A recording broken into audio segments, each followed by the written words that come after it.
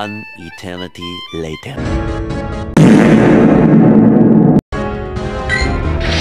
Are you sure about that?